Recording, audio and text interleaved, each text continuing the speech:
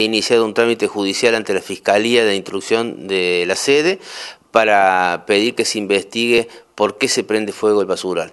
Pero eso ya creo que es anecdótico, lo que nos hace falta que investigue el señor fiscal y que también se lo hemos pedido es que determine fehacientemente la toxicidad del humo que emana de la quema del basural. Nosotros tenemos científicamente acreditado que los basurales calientes, como es el de cielo abierto de Belleville, cuando entra en combustión libera toxinas eh, altamente tóxicas y cancerígenas al, aire que respiramos todos los belvillenses. Ese fue el motivo central, el objetivo primordial de mi presentación ante la Fiscalía.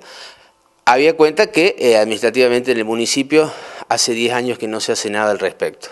Anoche, lamentablemente, hemos observado que luego de presentar la denuncia eh, es la tercera vez que se prende fuego el basural. Un fuego muy grande, de unas proporciones muy... Eh, importantes. Por suerte no hubo en todo el proceso de quema eh, viento norte, pero las veces que hubo viento norte la gente de la zona norte de la ciudad la pasó muy mal. Eh, ¿Qué ha hecho la Fiscalía? No lo sé, porque yo me presenté como querellante particular, que es la herramienta legal y procesal que tienen los denunciantes para ayudar al proceso, conocer la marcha del proceso y aún no se ha decretado ese pedido vencido todos los plazos legales, inclusive para ello, por eso hoy he presentado un pronto despacho para pedirle al señor fiscal que eh, resuelva en forma inmediata. Ayer hubo un fuego, un fuego importante, y no es únicamente de poda. Casi me arriesgo a decir que no había nada de poda en la quema de ese fuego. Por otra parte, Bondone dijo que no es factible hacer una denuncia ante la Defensoría del Pueblo de la provincia porque aún en Belville y más allá de la firma del convenio pertinente no se ha instrumentado.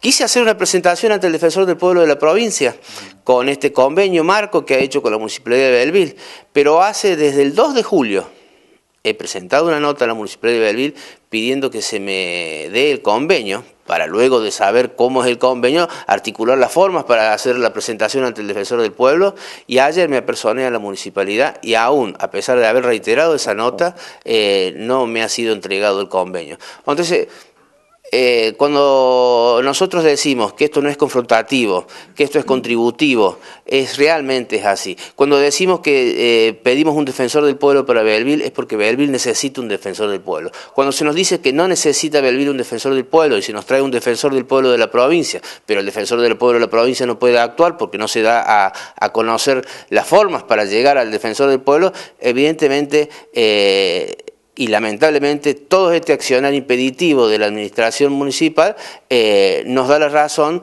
en actuar de esta manera.